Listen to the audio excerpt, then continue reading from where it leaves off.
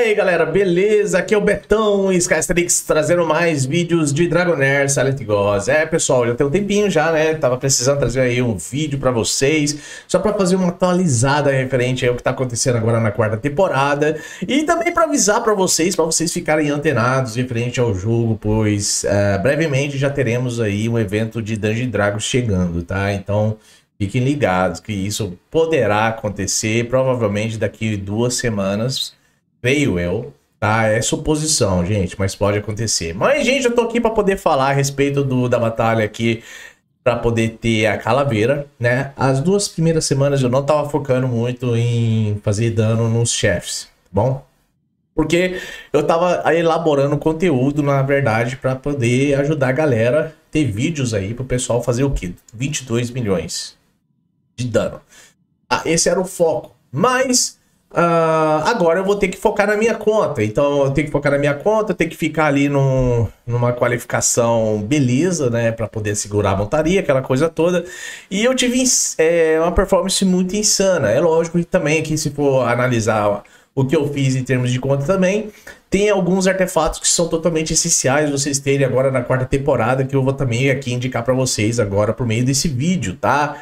Então, gente, é o seguinte né? É, todos vocês sabem, né, em termos dessa batalha aqui, é, a gente tem aqui os chefes, né? Então, temos aqui a Quaicitia, temos o Rook, temos o Achetius, né? Temos aí todos os chefes aí que também são heróis no jogo, certo? Mas são também uma, uma encrenca, uma parada dura para poder lutar contra eles. Principalmente quando nós falamos do Achetius aqui, que é o mais difícil tá? O Achetius é o mais difícil, aí seguido aqui da Quaicitia, aí temos o Wayfair também, que também ele é porreta, tá? Muito foda também. Né? Então, para cada um, vocês precisam trazer um elemento que prevalece ali para vocês terem dano. Com relação a Quaicitia, é o time de veneno. Com relação ao Wayfair, time de necroses. Com relação a, China, time de fogo. Com relação aqui ao Achetius, é o time de relâmpago com relação ao Falta Home aqui, que é o chefe relâmpago, vocês têm que trazer o time de gelo, certo? Né? A gente usa o explosão de gelo. Né? E o Rookie, vocês têm que trazer o time da luz, que é os radiantes, né? Então, gente, se vocês verem aqui em termos de performance, é lógico, se for analisar aqui com esse eu tenho o Rookie, né, mano? Mas não foi fácil chegar nesse dano aqui não, tá? Foi uma batalha aqui lascada tentando chegar e aí vem a questão dos míticos artefatos, artefatos míticos. Então, gente, é importantíssimo vocês terem aqui um Mysticont, tá? Então, acabei utilizando, isso ajudou demais. É, né, fora a questão dos outros artefatos que já são conhecidos, Witch Remains, né? Então, eu disposto de bruxa. Mas, gente, olha aqui, ó. Tentam ter esse artefato aqui. Eu já tenho vídeo no canal, já trouxe também no canal aí é, brasileiro, né, de, da língua portuguesa, para vocês aí focarem nesse artefato aqui, assim como o Poison Swamp. Então são artefatos muito tops, tá? Principalmente esse aqui. Tá, gente? Então não deixam de ter esses artefatos na conta de vocês, tá? Totalmente precioso. Principalmente Poison Swamp ali, gente né? Que aquele artefato ali é surreal, tá? E eu usei, abusei desses artefatos aí com relação aqui aos meus, ao meu time, tá? Então pode ver aí, ó, para eu poder chegar no nível que eu cheguei, com relação ao dano principalmente, é, esses artefatos influenciam demais, tá bom? Então não deixam, tá, gente, de ter esses artefatos. Olha só, vocês podem ver aqui, ó, que boa parte aqui da, dos meus times né? Tá tendo Poison Swamp ali, tem ali alguns que já são conhecidos por parte de vocês, mas para eu poder aumentar o dano, principalmente em relação a cada chefe, eu tive que utilizar tais artefatos, tá bom? Então os míticos artefatos por parte da quarta temporada, gente, não pulem, não deixam de ter eles. Principalmente o Chest of Radiance, que é, vamos falar, o baú da luz. Esse baú da luz é fantástico. Ah, então vocês conseguem ter se vocês terminarem os pilares.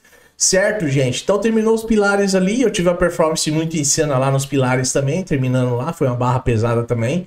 Eu vou fazer uma live vídeo, trazer uma live vídeo posteriormente aqui, ainda hoje, tá? Para vocês, é para poder comentar a respeito da performance ali. Mas eu tive uma performance bacana lá, então finalizei tranquilo, tá? Então os pilares foram finalizados aqui, ó. Tudo finalizado lá, só tá faltando agora os meandros, tá?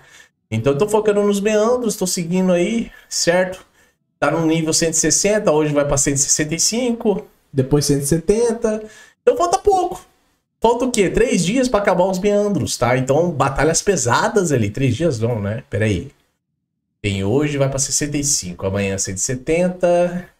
Depois, quatro dias. Quatro dias para acabar os meandros, tá bom? Quatro dias para acabar os meandros, tá, gente? Então é isso que falta por parte da Batalha dos Meandros.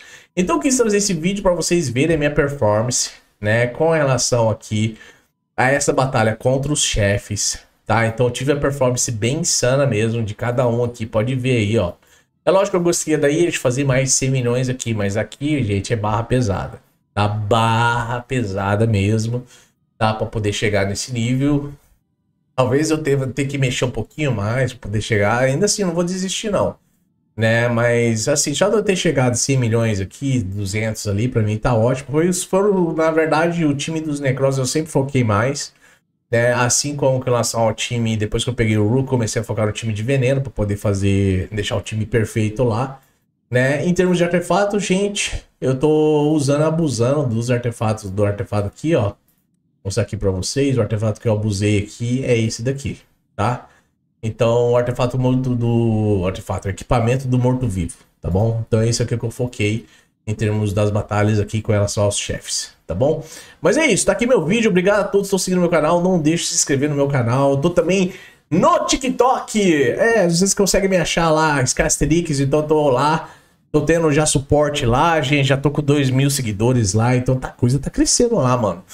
Então é isso. Então, é, tô expandindo o mercado aí, né? E para poder crescer no meu canal também, principalmente o canal em inglês, né? Mas se é convidado, então se inscreva no meu canal. Se inscreva no meu canal lá em inglês também, não se esqueçam, tá? Inscreva no meu canal em inglês. Eu tô sempre trazendo live vídeo por lá né? Mas eu vou trazer live vídeo por, por aqui também, por parte do canal em português, para falar com a galera, certinho? Então é isso, valeu, gente! E vejo vocês no próximo vídeo. Até a próxima. Fui! Order and chaos rolling in the multiverse. For thousands of years, their wars have never ended. Everyone has been involved in this war. So, where is your fate rolling to?